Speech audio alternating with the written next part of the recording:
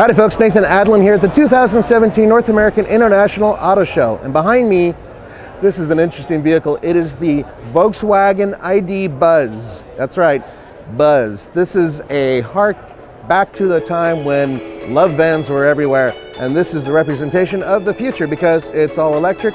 And coming up next, we're gonna tell you all about it.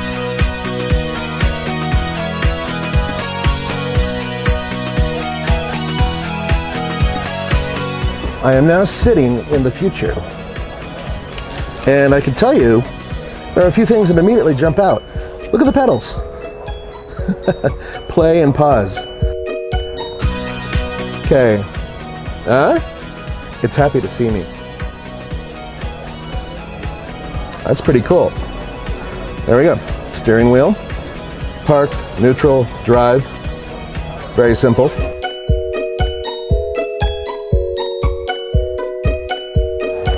Now this is my favorite part.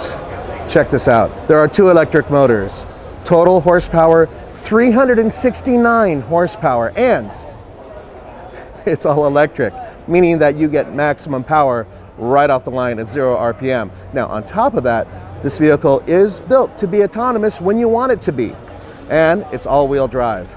Now the whole minimalist uh, setup here I think may change in the future, like maybe a glove box over there, and maybe not a scary little gnome that's floating around on his butt.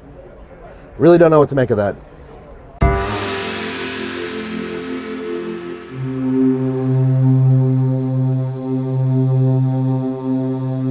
And then it has these smart tracks.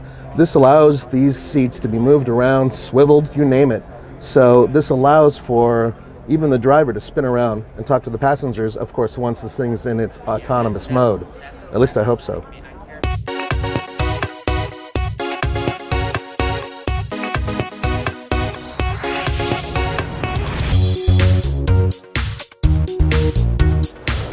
Now there are a few things that are kind of curious about this vehicle, including the miniature gnome that I have named Hans that spins in the middle of the dashboard, which I think is part of the navigation system, if I'm correct. It jumps up and tells you where to go. I'm not 100% sure about that either. What I am sure about is anything like this is built. We need to get it up to Colorado as soon as possible. Can you imagine an all-wheel drive van that can hold up to eight people and drive in an autonomous way? I mean, how fantastic is that?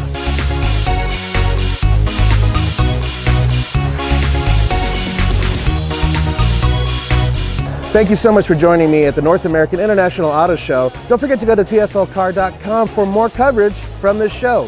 For the Fastlane Car, this is Nathan Adlen. See you next time.